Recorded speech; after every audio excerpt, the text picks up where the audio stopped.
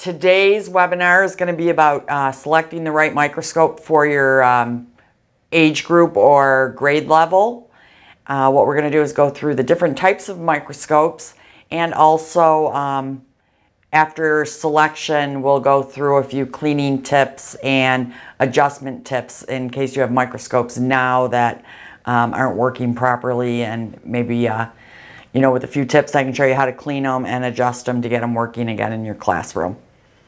Okay so the second half was just um, to go through a, a couple cleaning tips and uh, common problems that you might be having with your microscope. I will tell you before we get started that um, we do have a cleaning and troubleshooting um, webinar on our YouTube page and uh, that'll come up on the screen for you. It's a one hour video and it walks you through taking your microscope apart, cleaning all the lenses and uh, making adjustments. But a couple of the most common ones we'll run through here because, you know, you might not want to look at an hour long video. so the first problem you might run into is your field of view is not complete, meaning that you're looking through your microscope and there's like a half moon or um, you can't see your whole image. The first and most obvious thing to check is if you have a disc diaphragm on your microscope, which I think this one does. Yeah. So the disc diaphragm is the series of holes on a wheel that you just turn. Turn that and, and make sure that it's clicked into, a, into the hole in the right spot. Sometimes if you have it halfway between one and the other, you'll get that half moon. That's the simplest thing to look for. And then the next thing that you might look for is when you click your objectives into place, behind your nose piece, there's going to be a little click stop. Sometimes that'll get off center. So what you want to do is while you're looking through your microscope, if you have that little half moon, kind of wiggle your objective out of the groove a little back and forth until it and see if you get a full field of view. If you notice you get a full field of view and it's not clicked into the spot where it needs to be, that little tab can be moved over to the left or right to line it up. So those are the two, two things that normally will obstruct your field of view. Um, if you run into the issue where one or more of your objectives will not focus,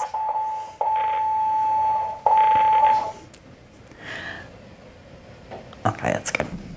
Uh, one or more objectives will not focus. The first thing to do is just check them all and make sure they're screwed in tight. Another thing that might affect that is your eyepiece. I had showed you earlier that it unscrews. If it's not screwed completely together, it messes with the distance between the eyepiece and the end of the objective and that will cause you to have trouble focusing. So make sure your eyepiece is screwed completely together and make sure all your objectives are screwed in place. But more commonly than that, it is the stage stop is not um, set correctly on your microscope. So behind your stage, there's going to be a little screw and it's either going to be a thumb screw or an Allen screw. These ones have Allen screws, so they're kind of hard to see. see it here a little better. It's an Allen screw, and uh, what it does is it controls how high up your stage will go so that you don't smash your um, slide on the higher power objectives. So if you're trying to focus and it seems like your scope just needs to come up a little more, your stage, what you would do is you would back that screw out one turn at a time while you're focusing on 4X. And you would just, like I said, one turn at a time, try to focus. If it's not coming in, do it another turn. Once it focuses on 4X, it should be set for the whole microscope. Check it on 10 and 40. Make sure it doesn't hit the slide when you're all the way up and it should be good. So that's all you need to do is just back out that screw behind the stage. Um, I also have, um, I mentioned the video, but we have a um, cleaning and troubleshooting guide that if anybody is interested in that, our science help people can send that to you. And it has all the troubleshooting and the steps to fix it and cleaning um, cleaning tips and stuff like that. So it's it's about a 20 page booklet and it really tells you just about everything you need to know about making your adjustments. Um, if your coarse focus won't move, a lot of times you'll go to move your focus, your stage, and it's just stuck. There is a tension collar. I know you can't really see it well here, but on your coarse focus, on one side of the rod, there's going to be a little collar on there. And it's a tension ring. And what that does is controls how smooth, how um, hard or easy it is to move the stage up and down. You should have, with most microscopes, there's what's called a um, C-wrench. And it's just a little wrench that has a hook in it.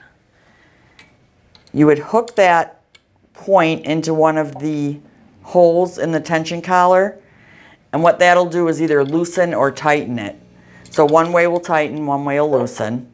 So if your stage won't move, you want to, you know, use your little wrench and turn that ring until it moves freely and then start moving your coarse focus and then, you know, one way will loosen, one way will tighten.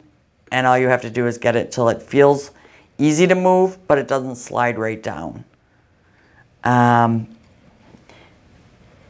if you don't have this wrench, you can use something like a, a, just a pointed object to get that loosened up and start moving it. So if it's too tight, you're definitely gonna need a tool to get it to loosen up, but if it's not tight so it won't move at all, it moves a little bit, sometimes you can just get in there and finger tighten or loosen that. But that tension collar on the side of the coarse focus knob is, is what's going to control moving up and down the stage. And that's the same if the image drifts out, you want to tighten it.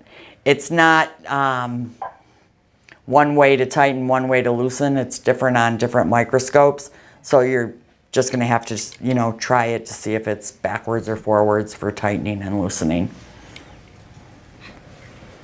So those are the, the most two, three most common things that are wrong with the microscope.